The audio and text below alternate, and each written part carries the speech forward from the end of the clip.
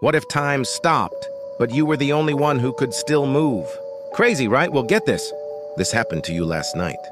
But you don't remember. Imagine it. One second you're scrolling through your phone, the next, everything freezes. Cars, birds, people, all just paused. You're thinking, awesome, I'm a superhero. You could walk into a bank, grab all the cash, no problem. But here's the plot twist air is frozen too. The oxygen in your lungs is all you've got. You have about five minutes before you suffocate. Suddenly, that bank heist isn't looking so good.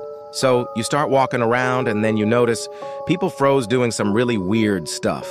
You see someone mid cry, another person about to hit send on a risky text to their ex, even someone telling a massive lie with a straight face.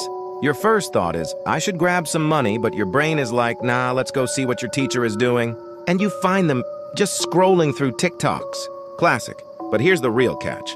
Every single step you take while time is frozen shaves one year off your life. You glance in a mirror and see yourself aging fast. Is it worth it? Plot twist on top of a plot twist? This has happened to everyone before. You know that feeling of deja vu? That weird glitch in the Matrix where you feel like you've lived a moment before? Maybe those are just faded memories from the last time freeze. It makes you wonder. Maybe someone's watching you right now, and you're the one who's frozen. If you had just five minutes in a time freeze, what secret would you try to uncover? Let me know down below. And hey, comment with a clock emoji if you've ever had a dream about time stopping. You might not be dreaming.